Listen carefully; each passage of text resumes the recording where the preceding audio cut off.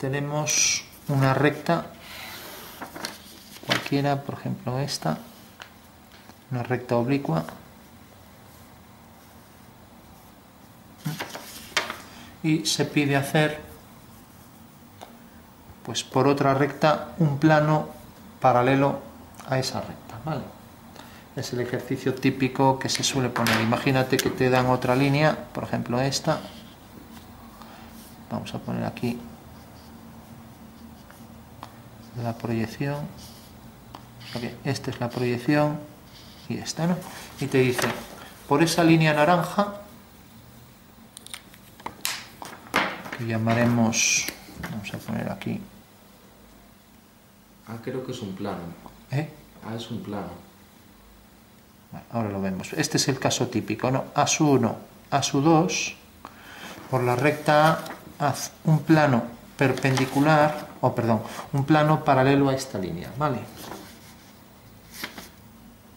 Bueno, ¿se te ocurre cómo lo hacer? La forma más fácil es, pues, coger una recta que corte a esta, si quieres pasa por este punto, por cualquier punto, es más fácil a lo mejor que pase por este punto, ¿no? Entonces, fíjate que las líneas vienen de aquí a aquí, de aquí a aquí. Entonces, si hago una línea por aquí paralela a esta, por aquí, ya tendré aquí una traza. Pasa por aquí, pasa por aquí, se acabó el ejercicio. ¿no? Entonces, sigo esta dirección. Tengo entonces una paralela a esta, ¿no? A esta. Y ahora bajo por aquí y lo mismo, por este punto sigo esta dirección y corta aquí.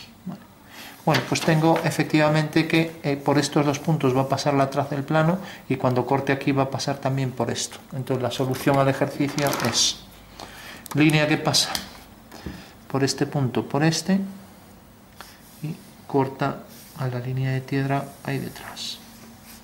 Corta aquí, unimos con este punto y efectivamente este plano es paralelo a esta línea. ¿Por qué? Porque en el plano existe una línea paralela a ella. ¿Y cómo sabemos que realmente eh, pasa por el plano por esta recta? Porque corta la anterior. Cuando dos líneas se cortan, pasa un plano por ellas. Por eso cogí un punto de esta línea para trazar una paralela. O sea que si no cojo un punto de la recta no me vale, porque entonces estoy haciendo dos líneas que se cruzan, ¿no? Por ejemplo, si tengo esta línea y cojo esta, no puedo pasar un plano por ellas, ¿no? Entonces lo que necesito es siempre coger un punto de la recta dada y por ese punto trazar una paralela a la línea dada. O sea que en el espacio sería algo como esto. Tenemos un plano y tenemos una recta. Sabemos que este plano es paralelo a esta recta porque en el plano existe una línea paralela a ella. Entonces si me dieron previamente una recta, pues lo que hice fue coger por esa recta un punto, en este caso estaba sobre la traza esta, y hacer una paralela. Entonces en estos dos puntos pasé la traza del plano, pasé la traza del plano, me corta aquí, la otra traza también debe cortar aquí y pasar por este punto. Bueno, pues esa sería la solución en el espacio. Y, bueno, lo ves, ¿no? O sea que este sería el plano que tenemos ahí.